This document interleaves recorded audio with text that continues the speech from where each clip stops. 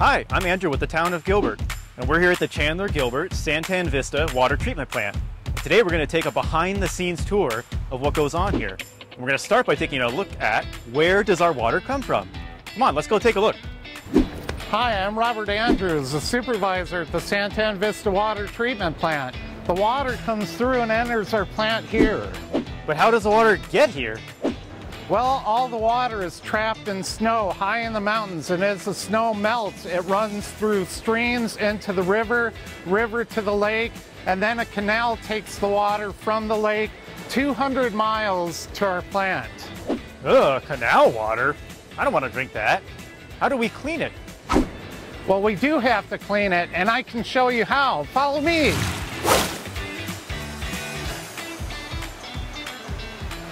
So here we are at the first stage of our treatment process.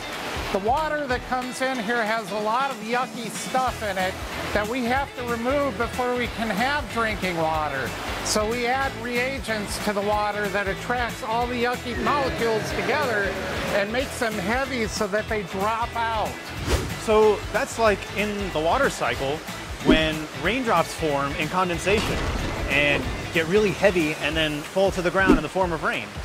Is that it? No, this is only the first stage of the treatment process. There's more. Come on, I'll show you. So here we are at the next stage in the treatment process where we add ozone to the water. What is ozone? Ozone is O2, oxygen, that has two O's in it, and we pass a high-powered electric beam through it to split it in half. And then those two molecules need to join with something so they bond with another O2, becoming an O3, which is ozone. And ozone is very unstable and angry in that. So that's like shooting a laser beam into the water and exploding all the bad bugs. Is that it? Well, that's it pretty much in a nutshell, but that's not it. We have one more stage to go to. Come on, follow me. So here we are at the last stage of the treatment process.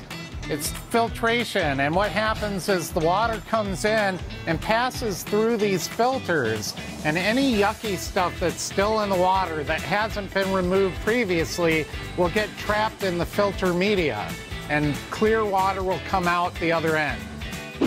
So that's like in your pool when you have a filter that catches all the leaves and dirty stuff. Okay, well, how do we know that the water is okay to drink? Well, we have to go to the lab to find that out. Come on. So here we are in the lab, and every day in the lab we run over 100 tests to ensure that your water is safe to drink. 100 tests? Can you imagine taking 100 tests? How do you keep it all straight?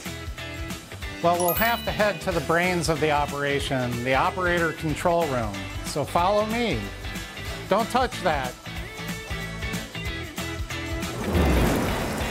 Whoa, looks like a video game. Oh no, it's much more important than that. This is the brains of the operation.